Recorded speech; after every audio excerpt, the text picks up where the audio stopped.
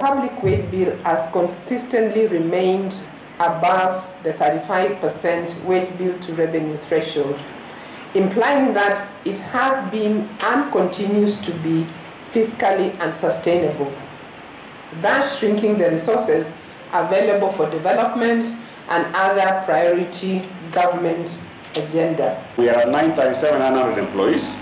Our wage bill currently is 1.035 trillion. Our revenue collection is at 2.2 trillion.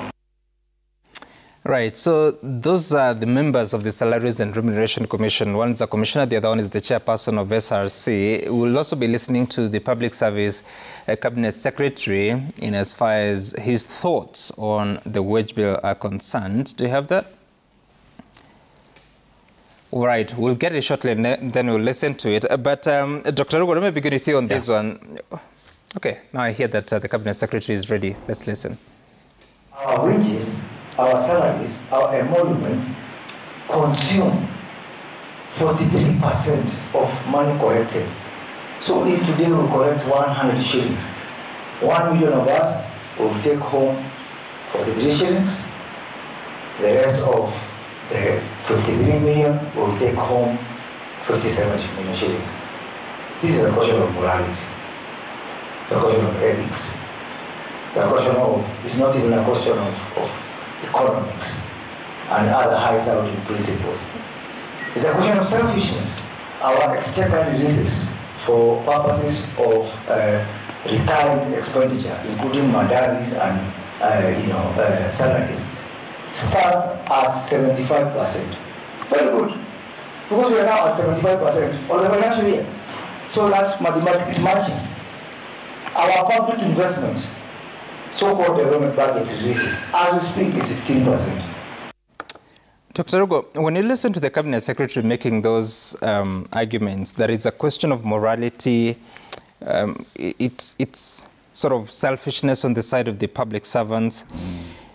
Is he facing reality or it's he's guilt tripping those that work for the government, bearing in mind that you actually have to spend money eh, to run a government? Yeah, um, th thank, you, thank you very much. Um, first of all, I think I must uh, state that it's important for us not to demonize public servants. Uh, that, that language seems to be popping up, you know, public servants. Uh, uh, uh, you know, are, are, are, as you're saying, you know, almost, uh, you know, the black sheep, they're spending too much. But let's go uh, a, a, step back. The SRC has documented, and that's perhaps why you know Mheshimiwa uh, uh, even mentioned that they are not the best friends of Parliament, where the wage bill seems to be beating us. And it is not in basic salaries. Across board, it's not in basic salaries. It's on allowances that overlap. The last time I checked, they had documented at least about uh, 240 uh, allowances, which they were proposing that some of them are on the same thing. Uh, uh, secondly, is that these allowances are not enjoyed by the public service across board equitably. Mm. Uh, that there are certain people, there are people who never, for instance, if you don't travel, if your job does not require you to travel, you are always in the office, you don't enjoy this uh, kind of uh, service. Of course, because again of grades, when you travel, four of you, uh, one is a cabinet secretary, the other one is a PS, the other one is a director, the other one uh, is a PA. You are, of course, not, even if you're going to New York, you're not going to all get the, the, same, the, same, the same allowance for mm. that travel. Uh, because of your cadre. But that does not, again, appreciate you're going to the same place that has got the same costs uh, and the like. And, and, we had that discussion, I remember, uh, so some, time, some, some time back. So the equity conversation has been the biggest. So first of all, the overlap, that you have all these many allowances uh, that, that, that, that, that, that, overlap. But thirdly, is the fact that uh, there's been an effort and at sometimes no effort to actually sort out who is doing what. We'll come back to this discussion of productivity, but let me first of all just deal with the fact that you have people who are either doing same roles being paid differently same level of role, whether at national level, uh, whether at county level or within the state corporations. Uh, then uh, you have others who don't necessarily do any work. We've had them call, the ghost workers are those who don't exist, but the others who also don't do as much as they're supposed because they are either two, three of them. You know, remember the, the, the, audit that was done some time back where they were found that for every one vehicle in one department there were the three drivers uh, equivalent. So you have all that mix, which I think is a critical discussion because when you look at revenue, what the CS is talking about, the revenue has been growing year on year, and I have the numbers here. The wage bill, the numbers of public servants have also been growing. The question is, have they been growing according to need? Or have they been growing purely because we now have a new government, I need to employ my people? And that's a very hot conversation in county. What's your answer to that? I think a good portion of the a good portion of the employment sometimes has not been need driven. You know that this is what we are trying to address. And when it has been need driven, sometimes merit has not been considered. So when even people come in, you are actually having an overlap. You know, you have people in the roles, you know, uh, uh, that, that, that, they, are, they are playing. And that se- seems to explain a lot of the challenge you find, for instance, at the county level, uh, where every new governor has come in and has employed more people you know, without rationalizing, without even arguing out, uh, did we have sufficient? Is it that we didn't have enough? What kind of cadre of, of, of employees uh, uh, uh, that, that, that, that we have? Because when you look at how the wage bill has been growing compared to uh, national revenue, the wage bill has been not been growing faster than national revenue. Yeah, uh, they almost have been almost at you know in in, in, in, in tandem of sorts. You know, uh, or you know year on year.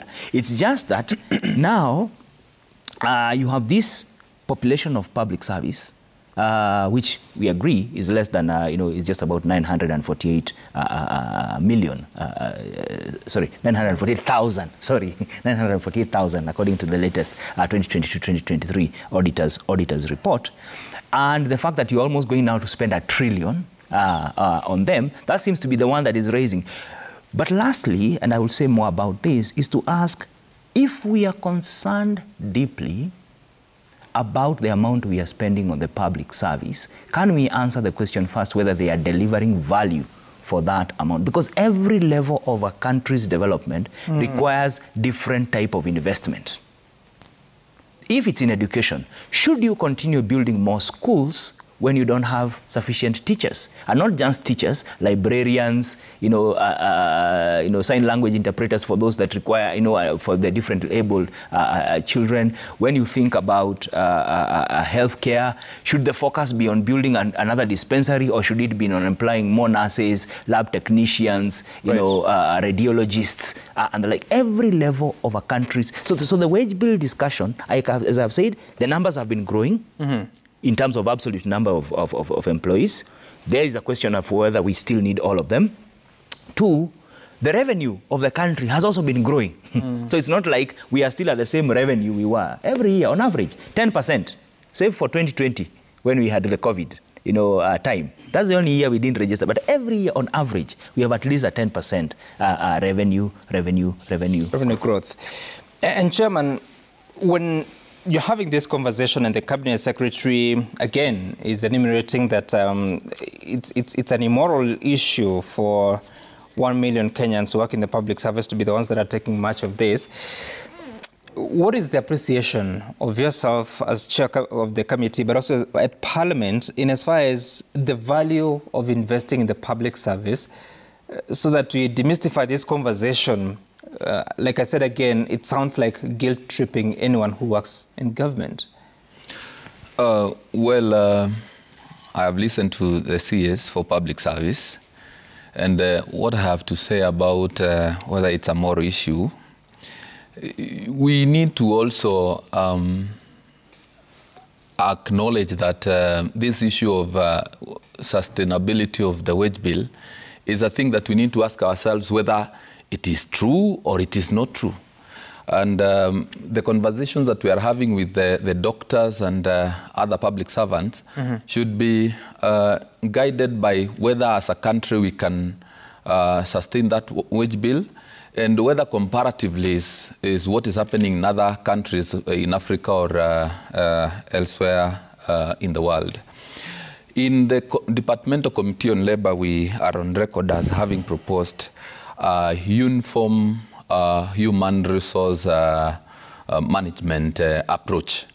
Because like uh, we have a uniform uh, procurement approach uh, in the country. We have a uniform uh, public, public finance uh, management approach in the country, but we seem not to have uh, a uniform human resource uh, management approach. And uh, as a committee, we have uh, tasked the, uh, the Ministry of Public Service to ensure that uh, uh, that is done. Because, like uh, what Dr. is saying here, uh, we have counties um, from the inception of uh, the new constitution. Um, county governments have been uh, recruiting uh, employees and uh, bringing on board more people into uh, the workspace without necessarily requiring um, without without any merit. They bring them on board just because they did the campaigns together. Uh, they are buddies.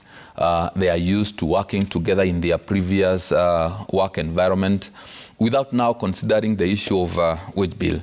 But going forward as a country, we must appreciate the fact that we must live also within our means. Uh, and uh, this is what the chairperson, SRC, is trying to say. And also, the president has been uh, on record as saying that we must be, as a country, live uh, within our means so that also we can be able So to. how do we do that? Because, like you say, uh, every change of government, every transition brings on board new employees. Um, or maybe I should ask the public, serv- public services, because look, um, every regime is coming with new people, and the ones that had been brought by the previous one. All of a sudden, they become permanent and pensionable. What is the policy like, especially when you're talking about advisors and people that help new officers to deliver on their mandate? Thank you, Sam. First, let me just appreciate the, the conference that is being held by SRC. It happened to be the third conference. So I'm sure they are going to reflect what are the benefits of the first two conferences, what are the lessons learned, so that they can be able to it moving forward. Let me, uh, Sam, in 2013, when Public Service Commission, uh, the first Public Service Commission of the Constitution came in, in, into place, there were other few other co- uh, constitution commissions that had come together. And uh, we started feeling, because of the introduction of constitution offices, county government, maybe more state corporations, the issue of wage bill became a question. And uh, we, we, we at Public Service Commission with the KIPPRA, uh, that is the Kenya Institute of uh, Public Policy and Research, we started asking what are the effects of wage bill by the year 2014. And from the KIPPRA, they actually said that the wage bill is not sustainable. If we continue increasing at the rate it was increasing in after the Constitution and 2014 in particular, it will not be sustainable. So I agree with the chair of the, pub- of the SRC that that trend might not be sustainable.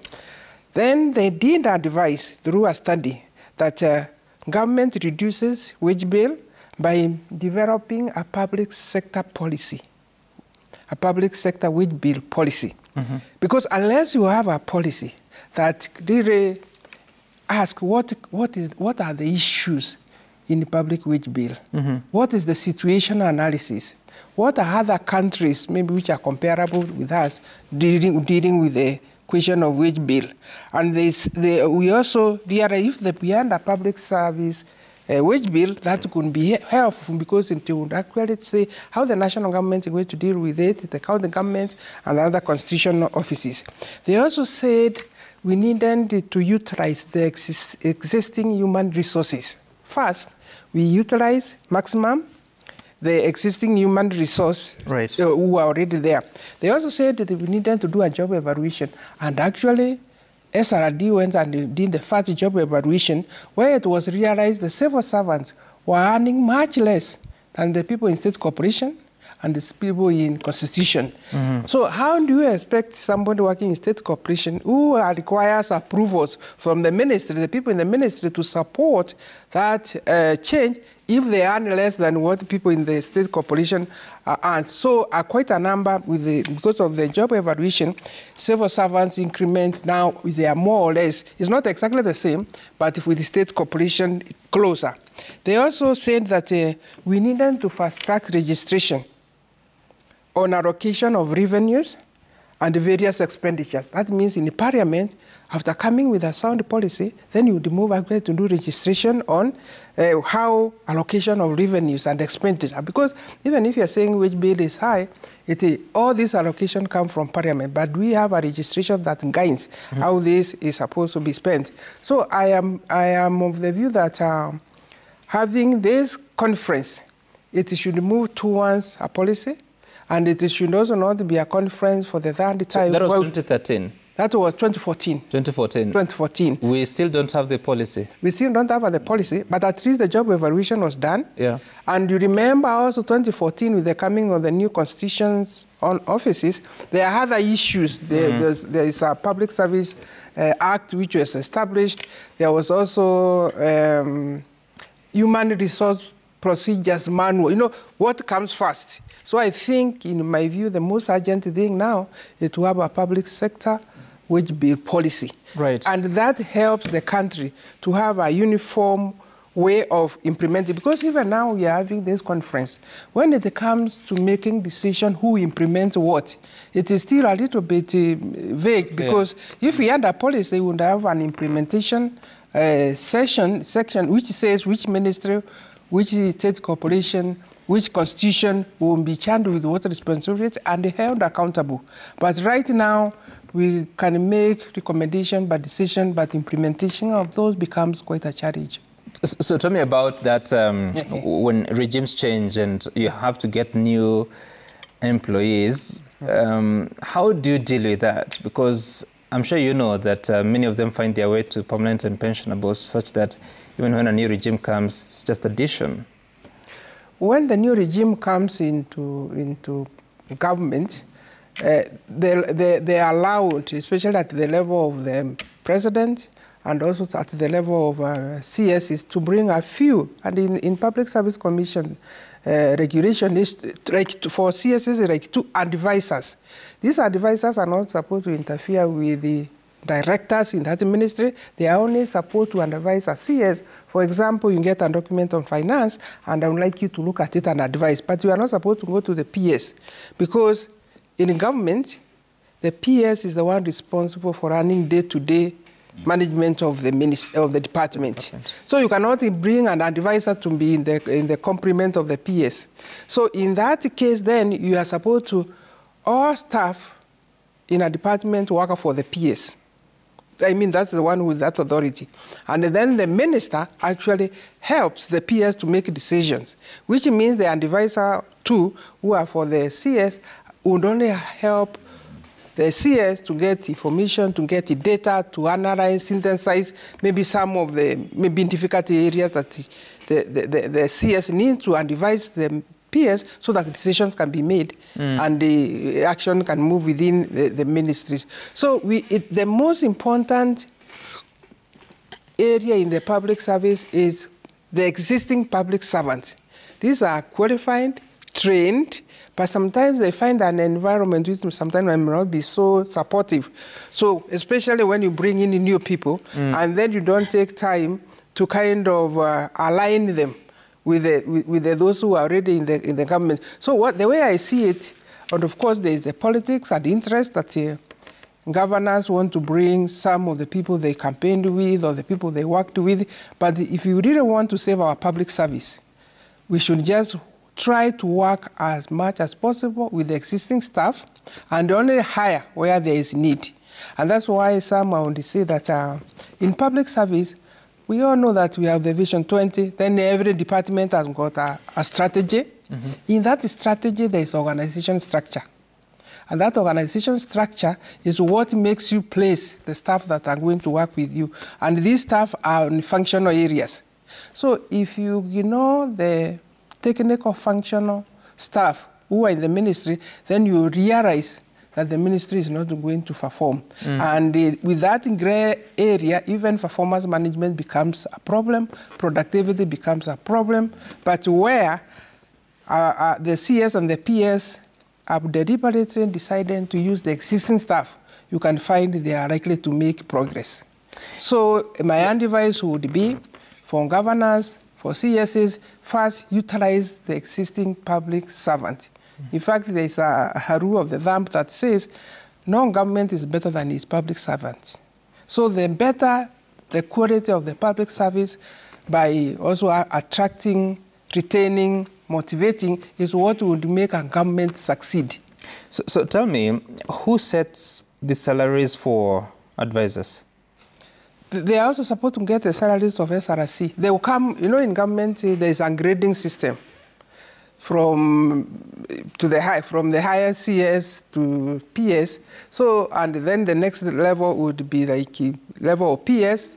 Advisor can come to the level of quantity principal and uh, administrative secretary, or job group T, which is the level of a director or a secretary. So whenever they come, the Public Service Commission determines using the, the, the, the, their qualification and experience and the papers submitted to Public Service Commission to decide the CS has asked for an advisor, mm. maybe a legal advisor. They look at the qualification and say this legal advisor can come at job group T. This legal advisor can come on job group S, uh, on job group U. So that, the grading system is there, so nobody can come without coming to a grading system. So I'm, I want to, and that's what we did, that there's a criteria on what even you, some, if you are coming to public service, where you would be actually entering. Okay. So that, that, that and it, this is informed by the organization structure of the department. Is it always adhered to? I, in my view, I think it is always adhered to, but uh, if there are cases where maybe someone has entered a higher level, for example, if you bring an advisor who is uh, maybe as I don't only the president brings an advisor at the level of uh, job group V, which is the cabinet. The rest should be actually be coming at levels that are below the C, the PS. Okay. Yeah, to be able to harmonize and work together. Mm. Yeah. And, and Dr. Rugo, mm. when you look at it, of course, many Kenyans, as they listen to the cabinet secretary, that is uh, Moses Kuria, mm. saying that it is immoral, it is not uh, the lower cadres of the public servants that are taking more money. In fact, even when you look at the travel expenditure, out of, say, 20 billion shillings at the national level, 50% is going to the political class. It is those that sit in parliament, those that are in cabinet. The remaining 50% goes to now everybody else, the close to 1 million workers. How do we make sure that that is tightened? Yeah. Because there still appears to be a bit of wastage in terms of even what amount of resources people mm. that have been brought on board politically mm. are able to access. No, no, it's true. Um, I, I, mentioned that earlier, and allow me now then to go a bit more into pay equity is perhaps one of the biggest uh, struggles we are having. And I hope the conference, uh, while pushing, um, you know, while trying to, uh, let's go for 35%, make sure we are within 35% uh, of our, you know, of our, of our revenue uh, going to wage bill, pay equity is a big, big, big challenge uh, because, well, as, you know, Dr. Kobia rightly says that there is a process, you know, uh, I don't get a sense that that process is followed, especially at a certain, certain, certain levels. Uh, remember, these positions are also of the people who make the decisions. So then they don't need to get approvals. Then they make the decisions of what travel uh, needs to happen and the like. My sense is that um, we need to, uh, I'll use a word that's not necessarily an English word, decommercialize a bit of public sector uh, positions. Uh, because what you see both at the national level and even at the county level is that these positions seem now to be becoming a way where you go to make money, you know. Uh, and you see people saying, hey, you saw so and so before he joined government. Uh, he alikuwa tu mmoja wetu. Uh, now you see the way he, he or she is swimming in cash. Nowhere is that swimming in cash. And it's because of all the connections that come with these positions in terms of how much you influence decision making, uh, whether in terms of who people, which people get contracts. I think we need to disconnect uh, uh, uh such, such, such, such. Uh, and perhaps the best Contracts for? sorry, uh, contracts for tenders and, uh, and the like. So you are in a place of influence. Mm. Those positions are, are, are, offices of influence. And I'm sure even Mheshimiwa perhaps in their committee may have dealt with that. So that then positions in government, when you see people pushing now to join government, they are no longer pushing to go and serve. They're not saying that I want to go, you know, uh, and join, you know, uh, uh, the, the, health ministry because I am really concerned about the health of the people. You know, they're telling you, and they are very clear. You know, I, I deal with young people. They even tell me, me, I'm looking to just to become a procurement officer. Uh, and, and once I'm a procurement officer, uh, you know. My life has changed in, in that sense. That kind of uh, uh, needs to shift because that's the same challenge you see at the, at the, what do we need to do? We need to connect people's performance to their remuneration. This was the whole language around the performance contracting discussion uh, that was there a while back. We, we, we have not necessarily followed that, uh, uh, you know, and uh, uh, you know, uh, j- just to say that when I did my PhD, I actually looked at how we use that performance information, the evaluation we use, whether it actually informs the next promotion, whether it actually informs productivity and decisions like that. And I found that that information is never used. you know, uh, it's collected. A. Yeah, so performance contracting, in whatever form we call it, whether you call it result, results-based management, whatever we call it, it has to be that Abraham is responsible for the, say, the devolution uh, uh, uh, docket. There are certain deliverables that are supposed to be made on that docket, and his or her remuneration. And there are countries like Singapore that have done that. Secondly, uh, for, for, for, for, for Singapore in the, in the earlier days, which I think is also important, not only is remuneration, especially uh, of the higher uh, uh, levels, tied to deliverables that they are going to perform, but it's also tied to the economic growth. So if the, the economy is doing well, you almost like get a bonus of sorts. You know, your salaries actually go. If they're doing bad, the opposite actually happens. Uh, because unless we tie remuneration to productivity, to certain deliverables. Some here, I know, and I know it's difficult because in public sector, you know, remuneration is not productivity driven. If, you know, in where we work, in our places of work, if I don't meet certain deliverables, I'm not only not going to be remunerated, I'm going to lose my job. Same case for you here, you know. Uh, but how do you assess uh, an agriculture extension officer? you know, In fact, I was going to ask you, eh, eh, does public service influence how the economy grows?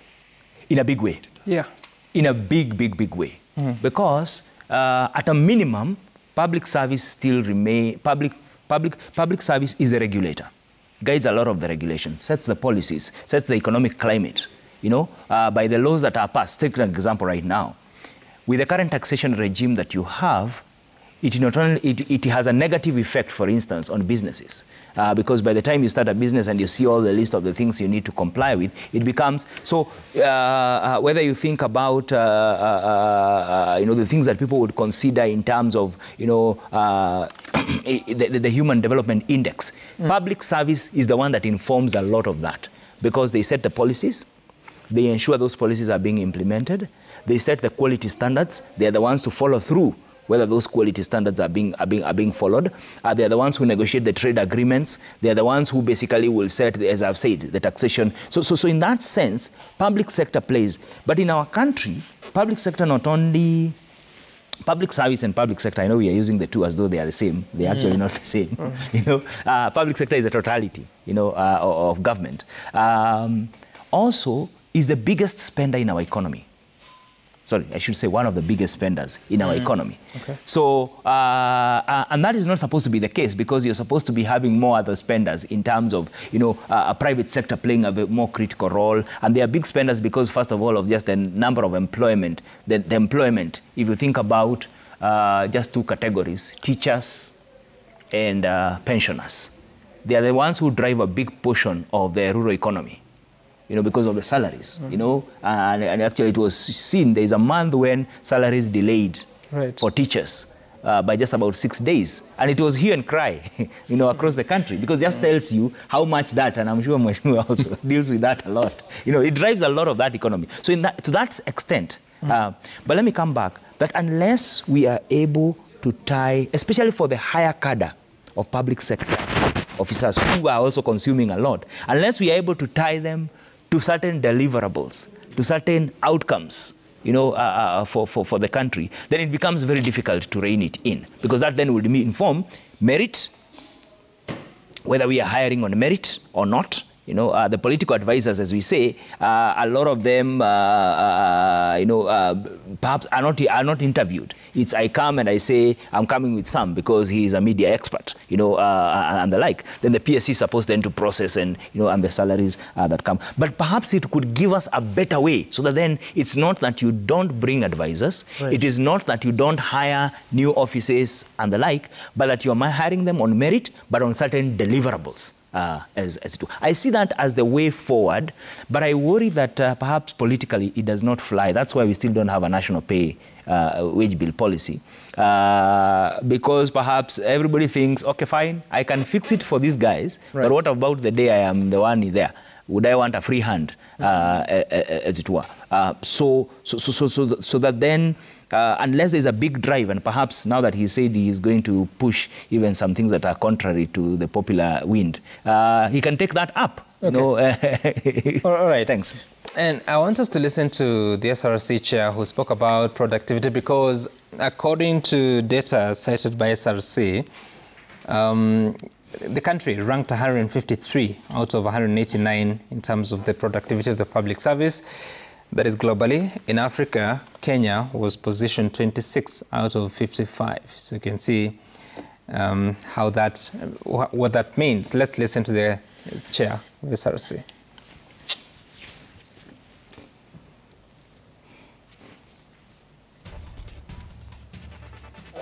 wage bill to ordinary revenue ratio and thus making available more resources for development and other government priorities.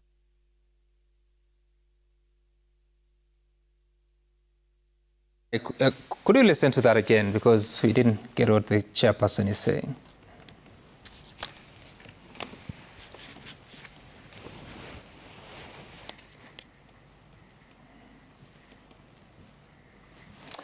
All right, as we do, do public service productivity is a strategic intervention towards the achievement of the 35% wage bill to ordinary revenue ratio and thus making available more resources for development and other government priorities. All right. Um, of course, uh, the chairperson um, and also the Commissioner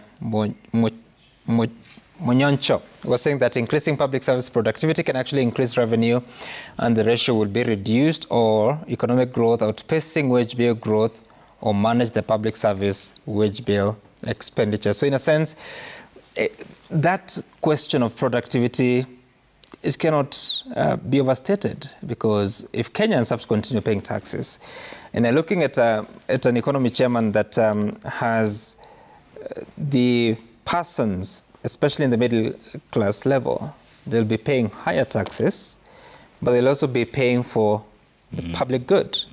In this case, they'll pay for education for their children, They'll pay for the medical cover, whether through their employers or by themselves.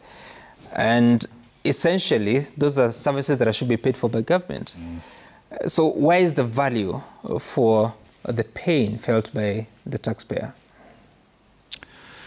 Uh, well, the issue of uh, productivity in the public service is a very serious concern uh, because um, looking at the culture that we have in the country, uh, where it is easier to get things done in the private sector than in the public service uh, arises from, um, uh, first of all, uh, the demotivation uh, from the issues that have been raised here by uh, my colleagues here. And looking also at the issues to do with the responsiveness of the, the, the public sector as compared to the private sector. Uh, government is supposed to uh, regulate or to facilitate the private sector. And um, by the regulation or facilitation, um, that would uh, greatly help in, in the way that uh, businesses are done and uh, other operations are done in this country. So uh, the issue of to, the issue to do with the productivity in the public sector can only get better if, uh, first of all, the, the the people working in the public service are motivated, and they cannot be motivated if uh, uh, the salaries, the remunerations, uh, and the allowances that they're getting are not uh, fairly considered uh, in comparison to the many institutions that we're having. Like you heard from uh, Professor here, um, the people working in the public service were thought or considered to be earning far much less than those working in the commissions uh, and uh, the state co corporations. Then how then do we expect that the people working uh, in the public service will give us uh, better returns or rather they will give us more uh, for what they have been given? So for us to get more from the public service, we must also invest in that category of uh, the civil servants that you're talking about, uh, those the middle income uh, earners, so that they can also give us more value for uh, what they get in return. You think the biggest question of motivation is salaries? Uh, except salaries, we also have um, uh, the environment where these public servants are working because uh, most of them are not adequately facilitated. And uh, like you heard from Professor, um, like the Ministry of Labor is the home for all these issues that we're talking about, productivity, uh, wage bill, that is the home. We do not lack uh, individuals in that ministry who are capable of dealing with the issues that we're talking about. But the question is, are these people adequately uh, facilitated? And if they are not adequately facilitated, then how else can we expect them to give the most uh, of their stay or of the positions that they are holding. Mm -hmm. So the environment that uh, the public servants are working in also contributes to uh, the value that they give in return.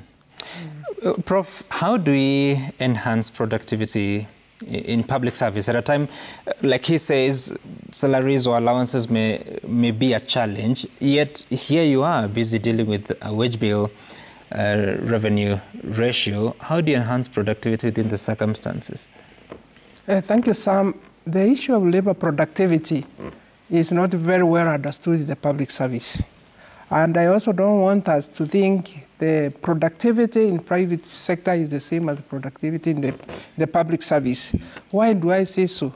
You know, there is complexity in the public service. Mm. And uh, in, in, this case, trying to say maybe uh, we are looking at how much input and output maximum can you get from each staff, either per day or per month.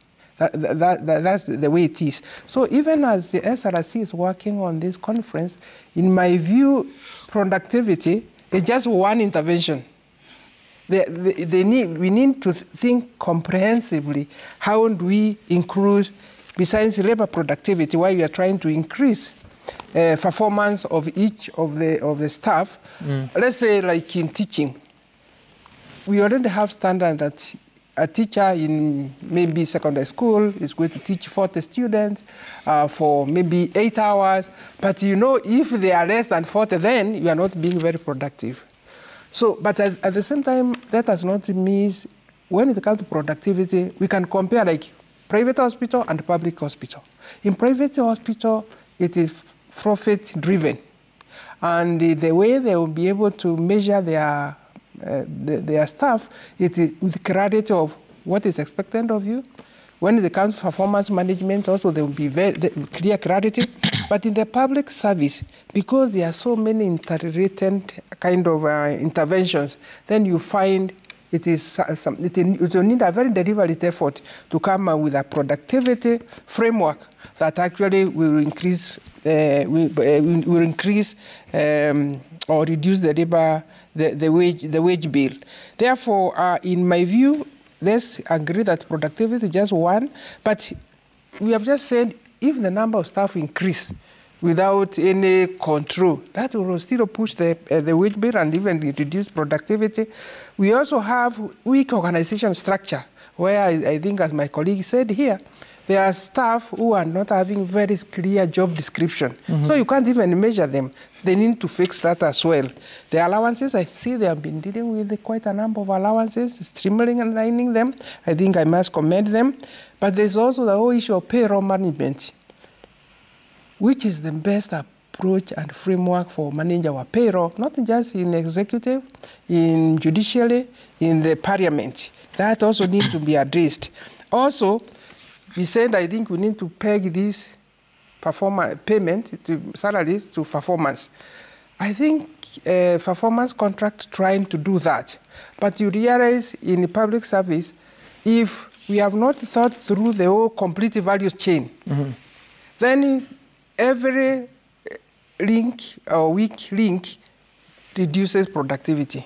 For example, if you are going to a hospital and you have the at the reception, you are you are received well, maybe your vitals are taken, you see a doctor, but there is no medicine in the pharmacy. That also influences how our productivity is going to be. Therefore, and you can, when you are measuring me as a nurse, you cannot really say the customer satisfaction rating was low because uh, if I went to hospital and all the vitals taken, but I didn't get the medicine, definitely the customer satisfaction will be low. So how do you come back and then decide this is the way I want to reward the, the, the nurse? So what I'm trying to articulate is there's a difference between private sector mm. and we tried to borrow private sector management practices to public service, especially during the structural adjustment uh, uh, period, but they did not sit very well. Therefore, I, what I'm thinking is still public service need to come together and agree on a performance management framework that works for public service because public service is about service delivery because service delivery is what the Kenyans are looking for. If they can't get quality service delivery, I think is critical. I'm imagining this conference will also center in what is the role of technology in influencing the new round of public service. Because that can also help bring down the wage bill, but also increasing productivity. So to me, I think they, they, sh- they should not just think when we have productivity, the problem is solved. They also need to think about wiki controls and internal controls, and where there are no consequences. You know, in public service, if uh, you send me somewhere and maybe I was expecting to get fuel from another department, then there's no fuel, so you, can, so you can't hold me accountable. So I think these things are so interrelated mm. that we must sit down and find what theory explains the situation we find in.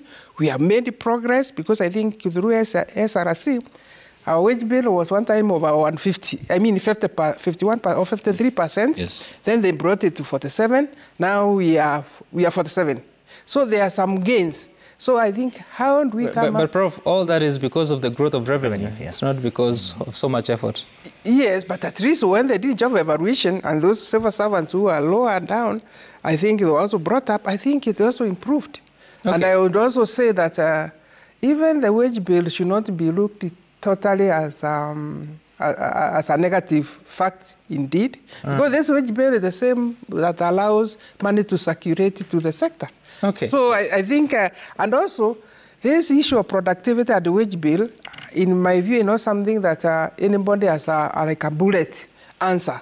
Because in some countries, maybe like South Africa, they have looked at the wage bill, and there is actually, although their wage bill is high, it has no effect on their GDP, or there is that correlation. Okay. So I think it's important that uh, more time is spent to really get the data and the statistics that will advise. The, and this is not a SRC issue. It is the kind of all the three arms of government so that they will be able to come up with a frame and they address these other issues that will affect the productivity and reduce the, the wage bill. So right, right. I I think you've raised a very interesting um, examples, especially on the medical sector. Now, I'm just looking at it, Dr. Mo- Rugo, Yeah. uh, that um, if you went to a public hospital today, Yeah. you'll probably, probably find a nurse to do the triage. Yes. After that, they're supposed to refer you to either a clinical officer or a doctor, all of whom are not um, at work. The doctor or the clinical officer should have sent you to the lab, who is not at work. After that, you should go to the pharmacy. Well, the pharmacist is also not at work. Or he's at work and there's no drugs. yeah. Uh, no, currently they're on strike. Yeah, they're on strike. The pharmacist Yes, and the pharmacists, K- yes. KMPDU. Correct, correct. Uh, so uh, really, and there is dissatisfaction on the side of the recipients of that service. But there's another factor uh, that continues to affect the public sector, and that is the question of corruption. And recently, the EACC released a survey looking at the national average uh, bribery. Can you imagine that we're even able to measure that? Uh, to an extent that if you needed to apply for a passport, you will need an average of um, 74,000 shillings in bribe, never mind that the uh, the passport will cost you uh, way lower than that. I mean, what do you do with this question? Because every regime comes in and says that you're going to deal with this. In fact, the paper today is saying that there are no, there are no uh, sacred cows in the fertilizer scandal. And all this is being handled in the public sector. Um, never mind the consequences, uh, like she's saying here, um, not many people are facing, facing them. Yeah, uh, I, I, I, was hoping we'll actually get there because I was hoping this conversation will get us there because we have talked about all, from a technical angle, I think, uh, uh, I mean, I agree with Prof on what needs to be done. But there are other things that do not necessarily require conversation because one of those is something that Prof has touched on and I think I need to mention it again, is that there are no consequences for wrongdoing. As long as there is no rule of law, which is what the big word for it is that there is rule of law, all countries in the world, including the ones that we admire, are not where they are because they have good people in charge, but it's because there is adherence to the rule of law, uh, where people are held accountable for their decisions, for their actions, uh, and uh, in some places, even for their, uh, the, the, the unintended consequences of their actions. You know, I remember one time, I think in South Korea, a train had an accident and the minister resigned. Uh, the minister is not the one responsible for, you know, for setting the train system, but he, it is considered that he has a personal responsibility. he- It was a he then that has a personal responsibility. So I think we must, there must be consequences. Uh, there cannot be, it cannot be a free fall. And right now the concern is that there is no. I was talking to somebody yesterday and he was saying, "Wow, nowadays it's like it's accepted." You know, when you're budgeting for anything, uh, uh, you know, no, actually, I was talking to a friend who actually, you know, had a, had a, had a BQ provided for, for his construction, and there was a figure there. Then he asked, but this figure is not matching any of the other items, and he was told that is facilitation fee. he said, okay, fine. Even if it's a facilitation fee, I'm not paying it. I'm willing to wait. I'll go to that board. Facilitation for what? For the approvals, it's a construction for the approvals that need to be done. Uh, uh, so he will. The, the guy was like, no, you know, when we go to NCA, we will need to facilitate. When we go to this place, we will need to facilitate. The county, there will need to be facilitation. and the guy said, no, I'm willing to go there. You know, uh, And these are people who are paid to consider the approvals. Precisely. Precisely. I talk to any business person, they will They're tell you. the wage they will- yeah, they- they- yes, they are part of the wage bill. They are being paid a salary. Unless we rein in corruption, uh, and not just the big scandals, but also the day to day, because that's what affects the Kenyans uh, on a day on a, on a day to basis. For me, that will be my take, because that does not require conversation, that does not require a conference, that requires action. You know, uh, uh, and, and, and it's, but secondly, is that Kenyans are troubled about wage bill because they are not seeing the services in return. I think that's where the big concern is right now. You know, as you have said, even when the doctors and nurses were not necessarily on strike, there are times you go to a facility. I remember taking my uncle to a health center, and we, we, we basically just found the clerk. They say the nurse is yet to come. Uh, this was at noon. Uh, the nurse is yet to come. Uh, uh, you know, the, and we had to rush him to a private uh, hospital. Unfortunately, he succumbed. But uh, you know, being even present, you know, uh, the Ministry of Health did, did a, an analysis some time back, and the absent, uh, uh, absenteeism was at, at, in some facilities was up to 50%, which means there is nobody for 50% of the time, which is, which is, which, which is concerning. But lastly, W- Wait, were they absent because there was no work to do or they, no. they don't want to work? But who else is running the private facilities that we are talking about? You know, we don't have two sets of doctors and nurses.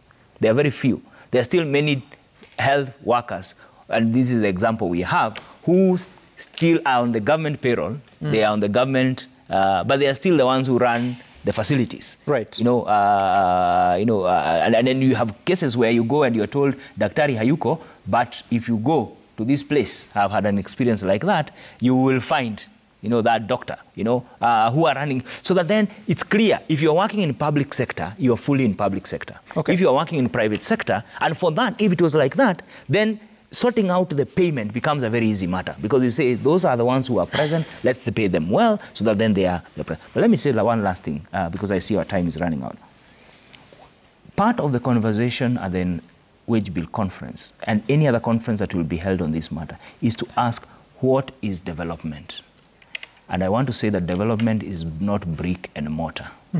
Development in the education sector, the smallest development in that sector is building of the classroom and the library. The development after that is a teacher who is present, a librarian who is present, books that are well provided, chalk that is available, experiment equipment, and the like. All that, part of it, and, and teachers, of course, and the workers. All that is a part of wage bill, and the rest of it is recurrent. Because there's been this demonization, and I've had, uh, you know, uh, the, the, the chairperson, I've had this conversation, even debate with her, that we are saying we want to save this money to, for development. What is development?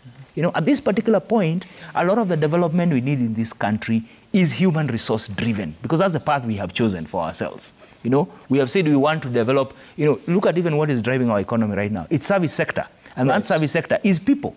You know, uh, is a hotelier who is receiving guests, is somebody who is taking people around. And Right. likes. Thank you very much. Uh, Yet, uh, Chairman, because we need to conclude on this, um, our human capital index is actually the best in Africa, but the productivity, productivity, productivity of our public service is where it is, position 26. Um, I, mean, I don't know what that tells us, but also what do we do to the culture in the public service to an extent that um, what he was referring to, the contracts or the tenders, people get into government for that. Um, people want to influence politics for that uh, purpose. What do you do with that culture? Uh, well, Sam, just before I come to that, I think the conference that is uh, supposed to begin this week must uh, discuss the issues to do with uh, the employment of technology in managing the public, uh, I mean, the national wage bill. And um, I say this because I have reliable information that uh, the Ministry of Public Service has forwarded to the office of uh, the ODPP uh, a list of 2,000 uh, people who should be prosecuted for earning salaries uh, as ghost workers.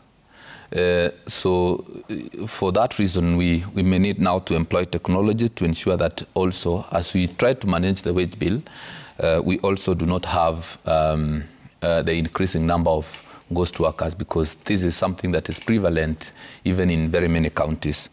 Then, together with that, I must also laud uh, SRC. SRC have, have done something good for. They, they, they have been able to bring down uh, uh, the, the percentage wage bill from 53 to 43. And uh, I agree with that because in the last parliament, we used to earn plenary sitting allowance. We don't earn it anymore. There used to be ministerial allowance. Uh, it is never there.